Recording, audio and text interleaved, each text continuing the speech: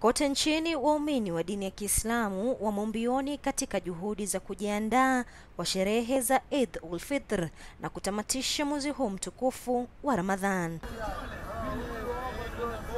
Imekuwa ni afueni kwa wafanyabiashara na wachuuzi mbalimbali katika soko la Marikiti na Mwembe. Tayari mamia ya waumini wa dini ya Kiislamu wakijitokeza kufanya ununuzi katika hali ya kujitayarisha kwa sherehe za kukamilika kwa mwezi huu mtukufu wa Ramadhan.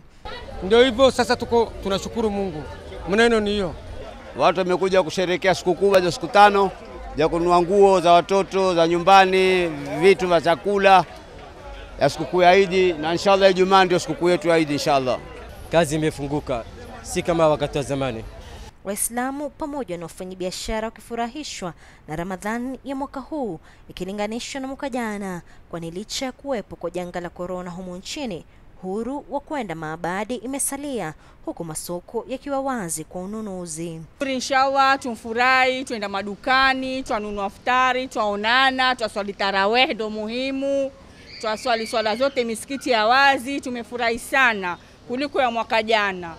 Biashara alhamdulillah kwa mwaka huu kuzuri, sio mwaka jana. Mwaka jana ulikuwa kuna mitihani mizito sana, mambo ya korona, na korona iko, lakini kidogo mwaka huu kidogo tumepata nafasi ya kununua vitu za watoto, tumepata nafasi ya kununua zakula, tumepata nafasi ya kuzunguka na mama.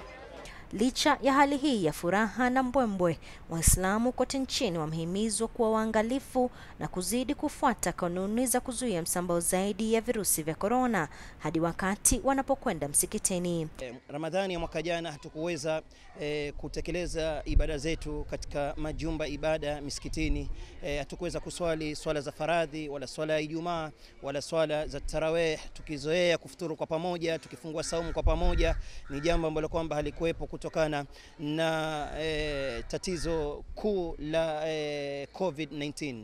Sheikh Abu Katada aidha ametoa wosia wake huku akitaka Waislamu wote nchini kutolegeza kamba kipindi hiki kicha kundi la kumi mwisho la mwezi wa Ramadhani ili kwa waaminifu hadi tamati.